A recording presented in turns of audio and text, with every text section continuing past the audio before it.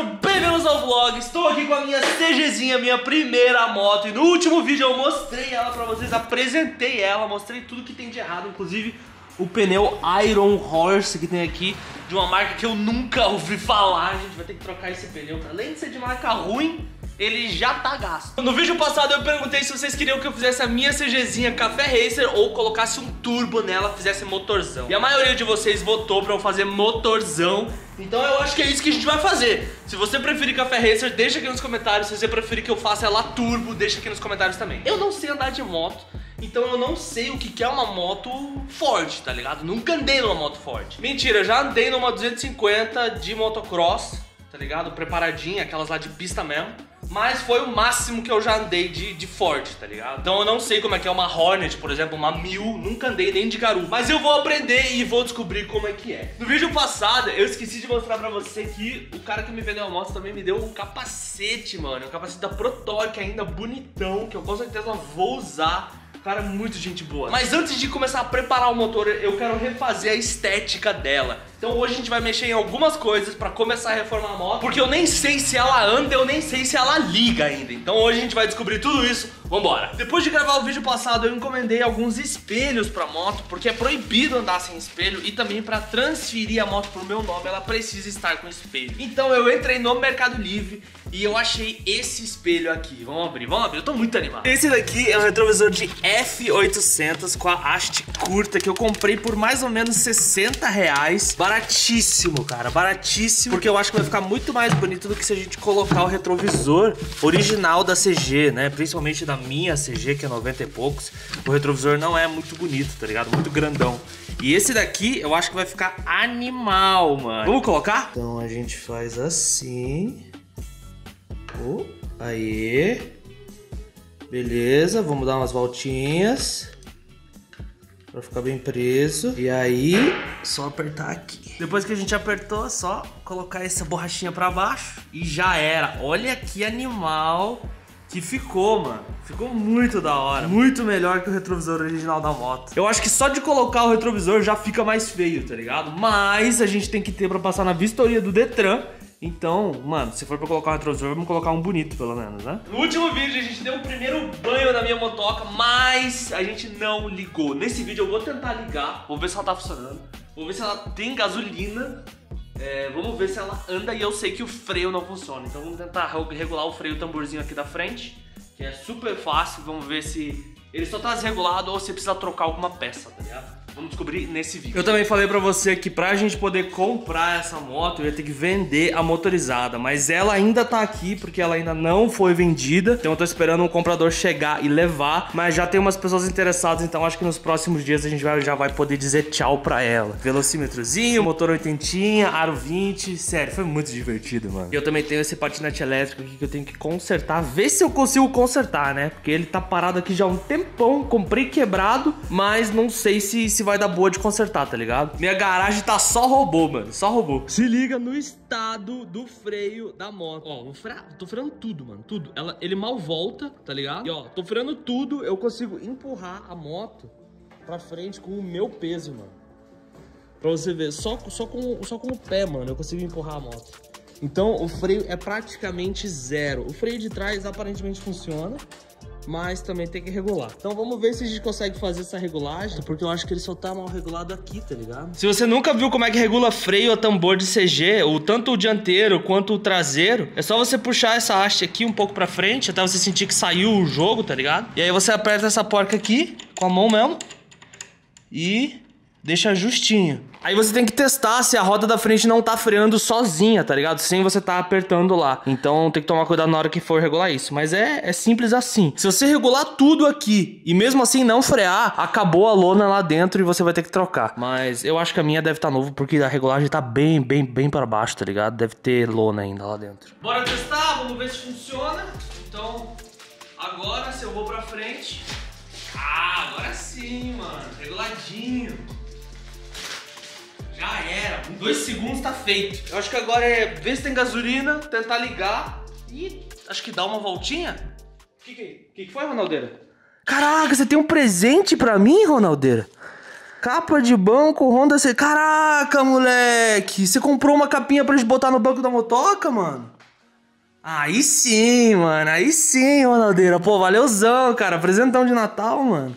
Já vamos trocar aqui. Tirar esse, essa capa que tá com, consertado com câmera de caminhão. Vai ficar novinho. Então, vamos tirar essa capa antiga. Olha só a câmera de caminhão aqui. Nossa, mesmo depois de lavar ainda tá cheio de terra.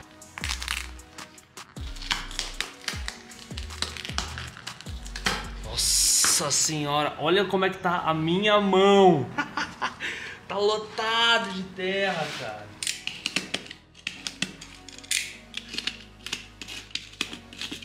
Mano, olha a quantidade de terra aqui dentro. Misericórdia.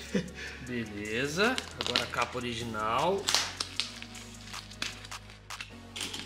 Uh, saiu. Aí o plástico do banco. E aqui tem a espuma encharcada de ontem. Olha a quantidade de terra que tem aqui dentro do banco. Isso daqui fica embaixo da almofada e embaixo da capa. Só que como o para-barro da moto tá quebrado, eu acho que tava entrando um monte de terra. Aqui embaixo também tem bastante. Então vamos dar um banho nisso para ficar limpinho e colocar a capa nova. Isso aqui tem terra há tanto tempo que mal consegue... O negócio não sai, mano. Tá grudado a terra. Até a espuma tá cheia de terra, mano.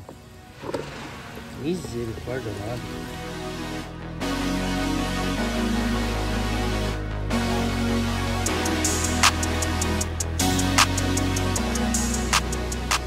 Tirar esses parafusos velhos aqui que estavam segurando a câmera de caminhão.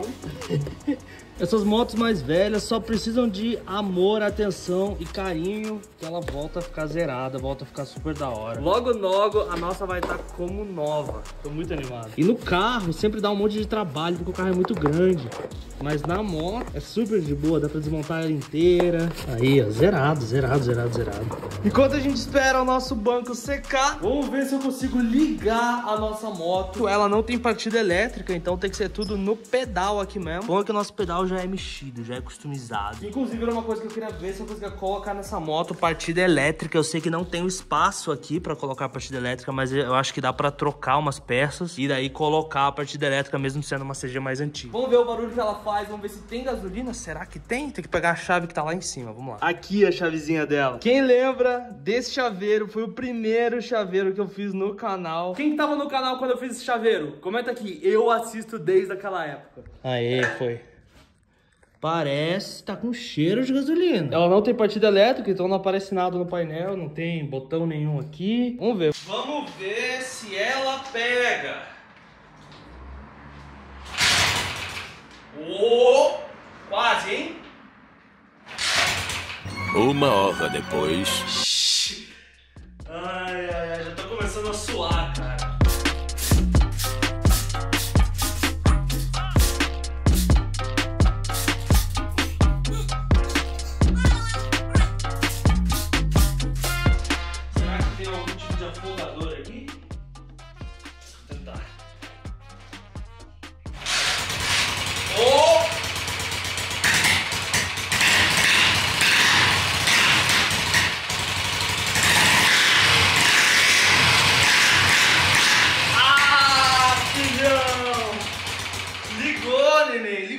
escape mexido, já percebi isso. Barulhão. Farol LED, já percebi isso também. Caraca, mano. Só que ela não segurou a lenta. Vamos ver aqui. Vamos pro round 2.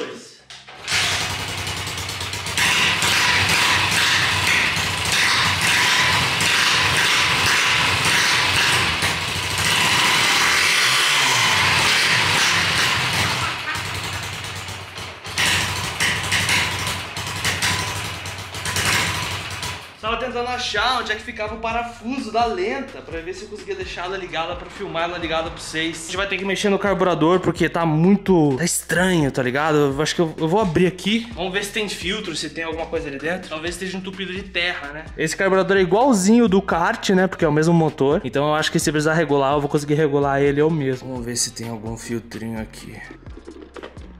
Oh!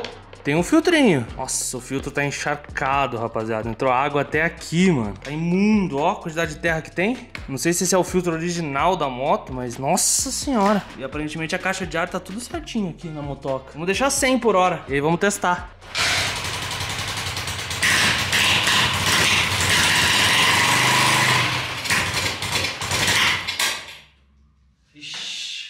Realmente a moto tá muito desregulada ou o carburador tá entupido porque ela não segura ligado. Tipo, eu acelero, enquanto eu tô acelerando ela já tende a morrer, tá ligado? Então vamos ter que regular ele, abrir, ver se ele tá entupido pra ver se eu consigo dar o meu primeiro rolê com a minha CGzinha 125. Terminei o banquinho, olha só que legal que ficou, rapaziada. Uma trabalheira absurda, eu vou falar pra vocês, hein? Porque você tem que grampear aqui embaixo, tá vendo?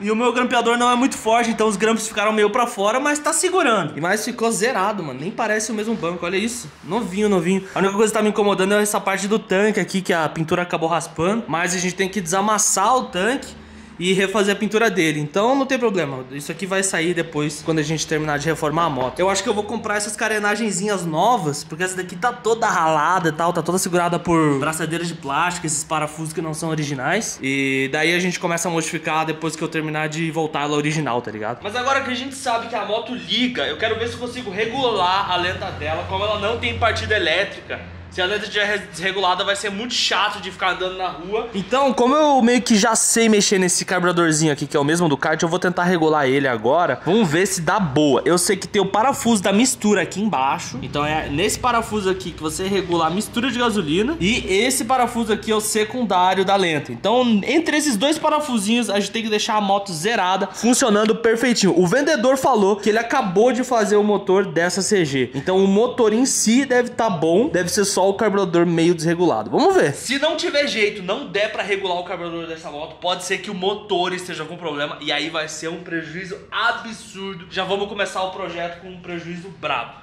Mas torce os dedos pra mim e vamos ver se eu consigo regular esse carburador. Duas horas depois.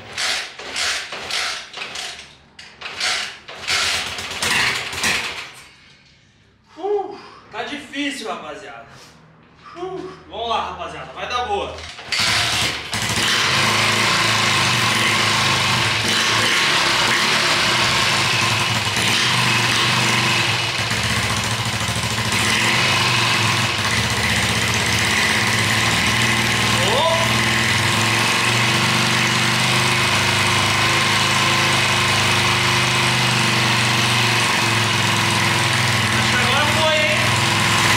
Ver se a gente consegue abaixar um pouco.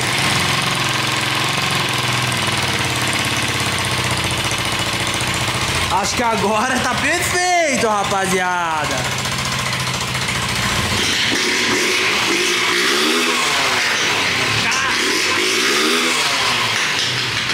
Sai pipoco, filho. Sai pipoco. Você tá maluco, mano? Muito da hora. Tá reguladinha. Ó, não morreu ainda, hein? Você tá maluco, mano. Que da hora. Luzinha de freio funciona, que eu não sabia. Será que o pisca funciona? Aqui na frente não. Funciona nada, rapaziada. Elétrica zero. Só tem farol. ai, ai. O que, que é isso aqui, mano? Nem sei. Isso aqui também nem sei o que, que é. Isso aqui era pra ser a buzina? Também nem sei. Ai, falta a gente fazer tudo, rapaziada. Mas ela tá funcionando. Caraca, é verdade, mano. Como é que eu desligo a moto agora? Ixi, Maria. E agora? Vou ter que esperar acabar a gasolina. Ah, peraí, peraí, peraí, peraí. Já sei, já sei, já sei. Se eu subir aqui, frear, engatar primeira. É, desligou. Mas estragou meu chão. Ai, caraca, mano. A moto não tem botão de desligar, velho. Se liga o que, o bagulho, o que, o bagulho fez com o meu chão, mano. Ah, já começou dando prejuízo. Tem muito mais coisa por vir no projeto da CGzinha 125 Turbo. Então fica ligado, já se inscreve no canal, deixa o seu like pra me ajudar a continuar produzindo esses vídeos. E nunca esquece de seguir sempre em frente.